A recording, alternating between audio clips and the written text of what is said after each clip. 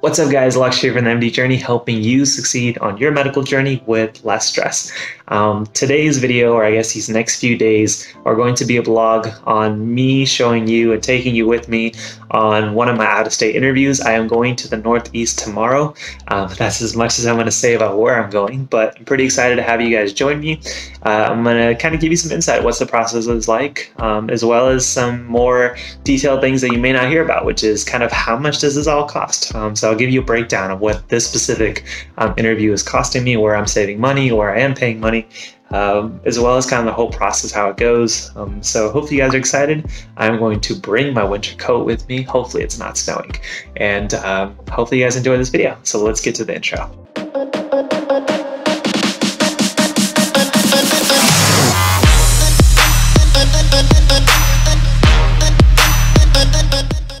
All right, so first things first, um, the interview is on Thursday morning, and today is Tuesday evening around six o'clock.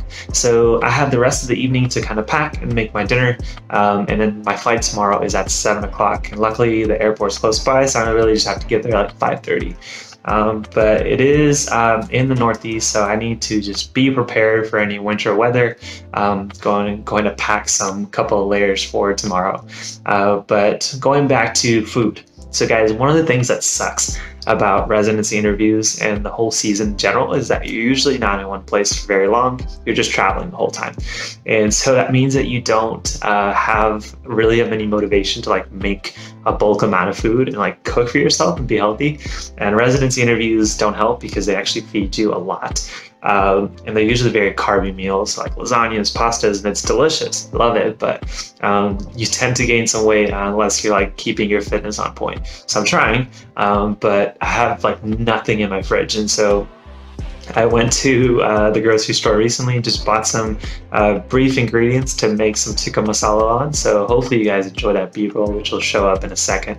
Um, but before we get to dinner, I wanted to kind of quickly break down how much this interview is costing me. I looked up my receipts uh, and my credit card charges on the things that I paid for, like my hotels and such. And so I wanted to give you some insight. So first, um, first things first is the plane ticket. So the plane ticket from where I'm at to where I'm going is about $311. The cool thing is that all of that was paid for via my credit card points. If you want to watch a video on me explaining the process of how I've gained so many credit card points, I haven't played, paid for a single flight, guys, um, this whole cycle.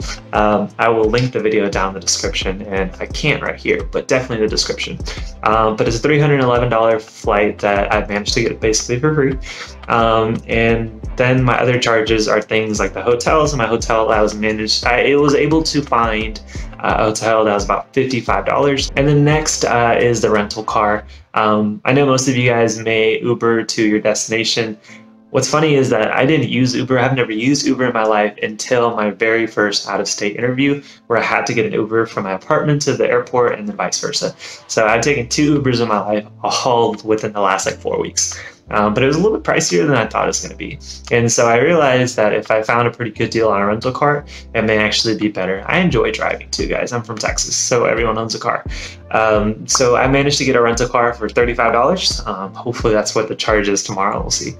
And um, so that plus the free ticket, and then I did get a pretty decent rate on my hotel for about 50 bucks. So um, I'm basically paying around 80 bucks right now for surface value, and then I'll have to pay for things like gas, uh, maybe some food if I get hungry, and things of that sort. So just round it up to about 100 bucks. But I am saving. Keep in mind, I'm saving about $300 um, through my credit card points. So normally somebody would be paying about 400 bucks plus um, just for one interview. So you can quickly see how things start to get expensive. But again, if you guys want to see the video on how I'm saving money via my credit card points and traveling basically for free uh, across the country, uh, the video will be linked in the description. But uh, let's get to dinner. All right, guys, so let's get to making dinner. First, we're going to start with our protein source of the day. Um, most of you guys know that I am a vegetarian, and so that means I have to get pretty creative when it comes to picking my protein sources. Um, so I have something today called soy curls. Um, the link will be in the description, but basically what these are are vegan protein strips. They're flavorless, and so you first um, go ahead and just soak them in water for like 10 minutes, allow them to absorb and get some volume, and then you can marinate them in whatever sauce you want. and then fry them on a pan. They can be used as these like pseudo chicken strips. Um, they're really affordable, which is like one of the biggest reasons I like them. Uh, is that like one pack of those, um, you get three of them for 15 on Amazon. So I'll link that down in the description for any of you guys that kind of want to try some new protein sources. But they taste really good. Um, if you choose your sauces correctly, um, highly recommend. So we will put this in a pan soon after soaking for about 10 minutes and then we'll kind of marinate them with our tikka masala sauce that I've already bought. Um, unfortunately, this is all the rice I had sad life. Um, so it's mainly going to be a, a, chicken strip or pseudo chicken strip, um, tikka masala with rice. Uh, but that's kind of what we have to do on our residencies um, season. Uh, like I said, my fridge is pretty empty, but we'll make do. Uh, we'll enjoy this, and um, I will kind of fast forward to a B-roll now.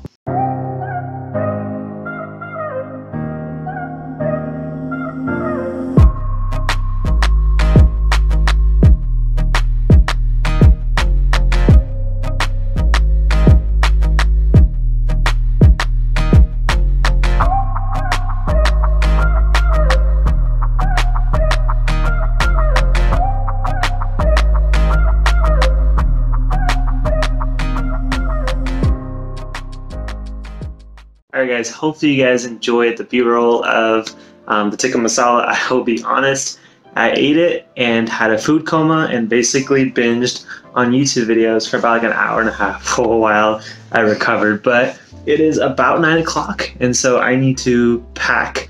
Um, I have my clothes already, you know, ironed out, folded. So I'm going to show you guys kind of what um, I will take on interview day for me.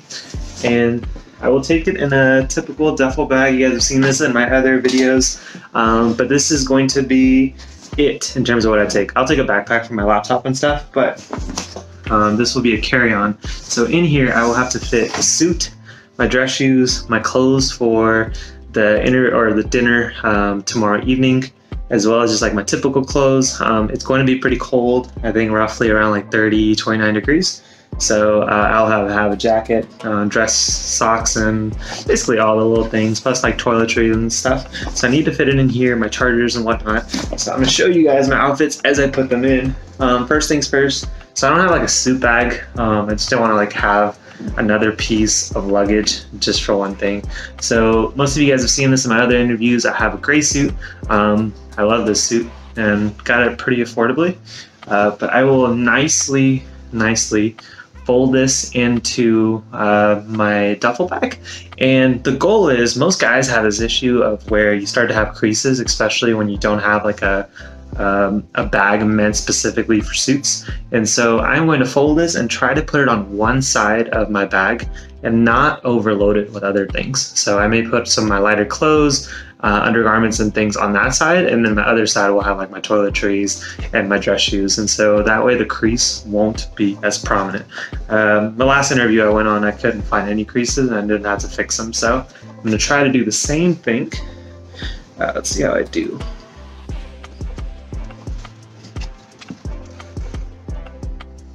I get the slacks.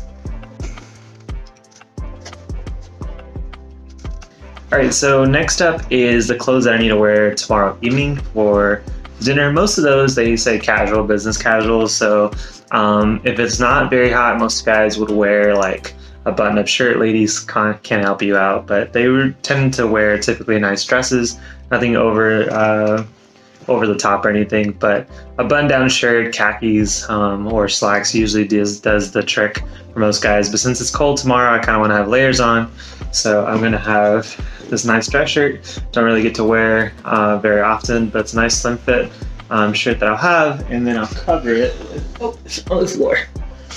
Uh, this nice wine color purple sweater that I have.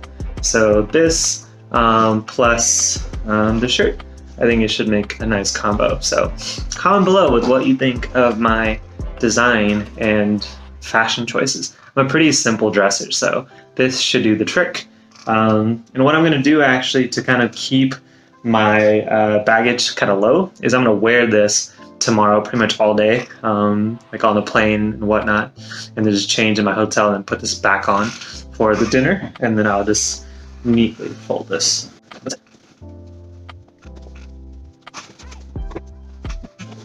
so now we're kind of wrapping up to the last bits of things. So I have my socks, got some new pairs over Black Friday, excited to wear these. Um, I have those in. Uh, I want to make sure I don't forget my tie. Um, I just use two ties on my interviews, so uh, I usually have both in my bag in case I lose one or something goes wrong. Uh, but this is going to be my tie for tomorrow. And then I have my belt. So nothing fancy here. So basically I'm going to get my outfit for the plane ride there ready. Uh, and in the restroom, so that way tomorrow morning all I have to do is shower, wake up, uh, put this on, and then call my Uber. Uh, but otherwise, guys, like I'll have a toiletry bag, so um, it's already packed, but obviously I'll have to use it tomorrow morning just to freshen up. And then I take some Ziploc bags uh, that I will use tomorrow morning just to put some of the travel restricted items, um, the liquids that the TSA agents will like to look at um, to make sure that there's nothing suspicious and that they meet the size requirements. So I'll put these on and then my dress shoes uh, will be ready and I have a nice little pocket um, in the duffel bag where I just kind of put them in underneath. It goes under all underneath my clothes and it just kind of hides there. So that's pretty much me packing. Um, the last thing I'll have to do today is shave this beard because I want to look somewhat decent for my interview.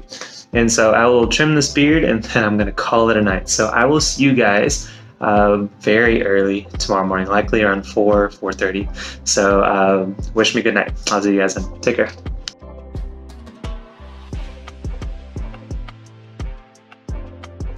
Good morning, guys. Um, it is about 4.40, so I don't have that much time to waste. Um, I'm going to go ahead and get ready, brush my teeth, um, shower, and then go ahead and call my Uber. Luckily, all the stuff is packed, and all I have to do is just head out. Um, and it's like a five minute drive to the airport, so everything's pretty quick. Um, I just have to be quick on getting ready. So um, I will see you guys at the airport.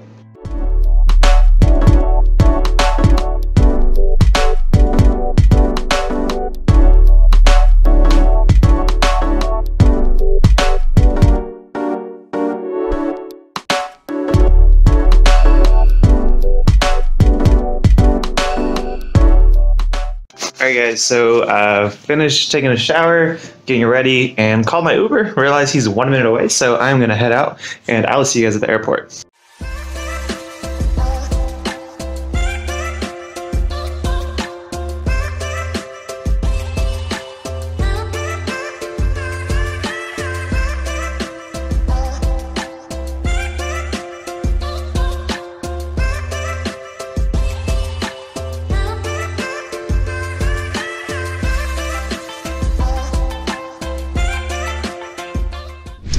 Guys, so I made it to my destination.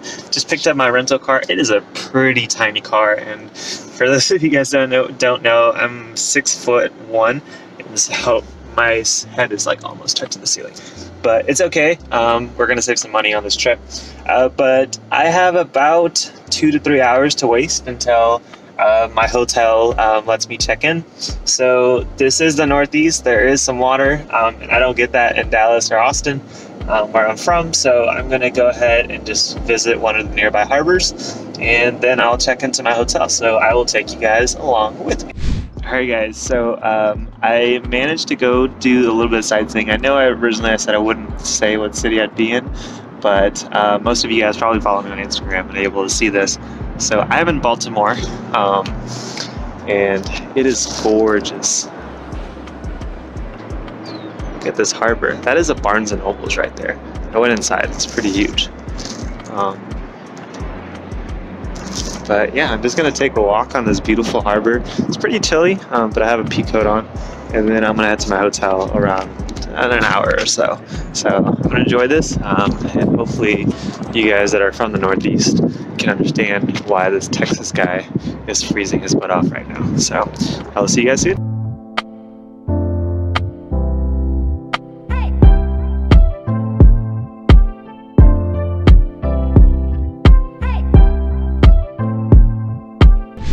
Right, so the harbor was freaking awesome. Uh, really cool environment, much different than Texas of just having that big body of water around with a huge city uh, right in the middle of it. It's pretty cool.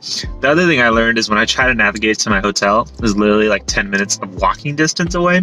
So if I wanted to, I can go back there again and kind of check some other things out. But uh, I'm gonna check into the hotel. Um, there is something that I want to see here in Baltimore, kind of in the DC area, about 20 minutes away. And I'll take you guys there with me. Um, and I try to do in every major city that I can go to. Um, and so that means I'm gonna have to kind of plan accordingly of getting ready, um, going there 30 minutes, driving back 30 minutes, and still making my dinner, which is around six o'clock. So I'm going to check in, kind of relax, change. I need to put on my dress shirt underneath this for my dinner tonight. But otherwise, I'm wearing the same outfit plus maybe some slacks. Um, don't wear jeans on your pre-interview dinner. And I'm gonna do that. Uh, I bought some Shake Shack, uh, which I've never had before, but I'm a huge fan of milkshake in any place that makes good ones. So today we have a, a coffee milkshake, and I'm a huge coffee fan, so this tastes really good. Um, but otherwise is have a vegetarian burger in there. Uh, but I'm gonna check in uh, and I will check in with you guys um, in a bit. So.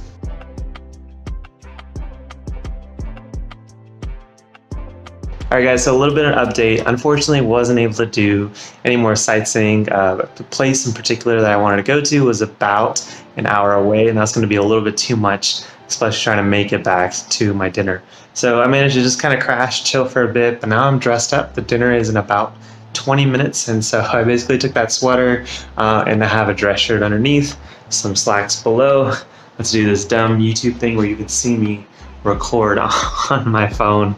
Uh, but luckily, the dinner uh, venue is within like a six minute drive uh, from my hotel, so it's gonna be pretty cool. Um, but these dinners are usually fun. Everyone's really welcoming and warm. It's a good way for you to kind of uh, ask some, you know, honest questions about the program, as well as just kind of see, um, can you see yourself working with these individuals? Because if you come here, you know, they're going to be your coworkers, your peers, your colleagues. Um, so that's really what these pre-interview dinners are. So I'm going to enjoy it, um, and I will see you guys after the dinner.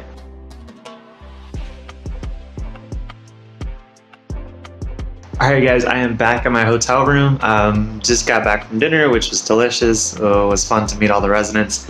Um, but I am tired. Uh, I think I have like a maybe three hours of sleep in me for the last 24. So I'm definitely gonna hit the hay pretty soon. I'm gonna change out of my clothes, get my suit ready for tomorrow. Also have my backpack because I am basically going to be heading to the airport immediately after my interview. I need to turn in my rental car, so it's going to be a time crunch. So I'm just trying to be as efficient as possible. And the last thing I'm going to do before I go to bed is just do some last minute research on the program.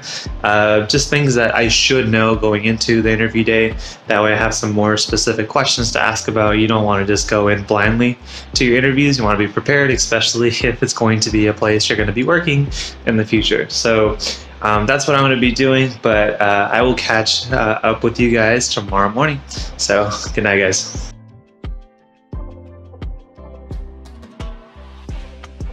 Good morning, guys. It is 6.15. Uh, my interview day starts officially at 8 o'clock, and the hospital is about 15 minute drive from my hotel. So I'm going to try to get ready. Uh, luckily, everything is packed for the airport. My clothes are just kind of like sitting on this chair, so all I have to do shower, put my suit on, and then head out. So, uh, but yeah, I'll see you guys, probably talk to you guys on my drive there.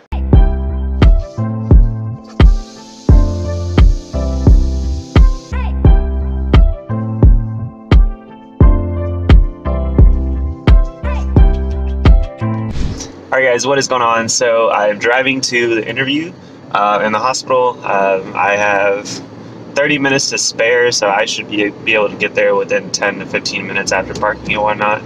Um, but I'm driving through downtown Baltimore. It's pretty nice. It is cold today. Uh, probably you guys are probably, if you're from this area, used to worse. But it is a nice solid like 35 degrees with a pretty uh, decent wind chill. So it feels like 20s. Um, but I got my pea coat on, got my suit on, and so uh, we're gonna just enjoy this weather because when I go back to Texas, it's just gonna be nasty and different every single day.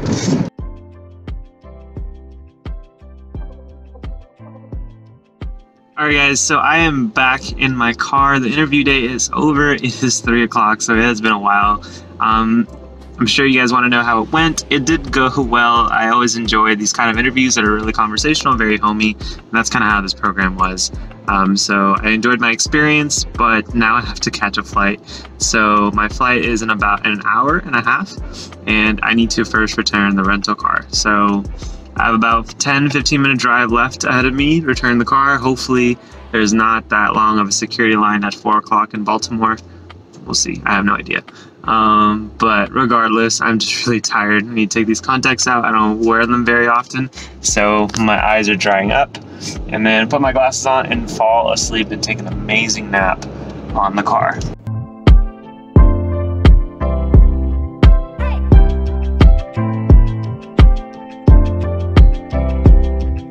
Alright guys, so I made it back to Texas. I am officially back in Dallas. Um, the flight overall was good. It is very late now. It's about to be 11 o'clock and I'm super tired. Um, one bad thing that happened on my travel here is I somehow lost my license when I was in Baltimore, so oops. Um, I'm more gracious though that I somehow managed to keep my license until after the TSA line, um, so I still managed to be able to get on my flight. Uh, but that's gonna just unfortunately be something I'm gonna have to do this week and just get it replaced. Uh, more annoying than anything, but it's like, whatever. Um, but more importantly, I'm just so super tired. My bed is there. I'm going to bed, have nothing left to do, and I'm going to wake up at whatever time I want benefit of a fourth year. But let's close this video off. If you guys enjoyed this video, first of all, make sure you give this video a like, subscribe to the channel, comment below with any questions, videos, ideas that you guys want to see in the future. Hopefully you guys enjoyed this one, but I'm headed to bed. I will see you guys in the next one. Take care, guys.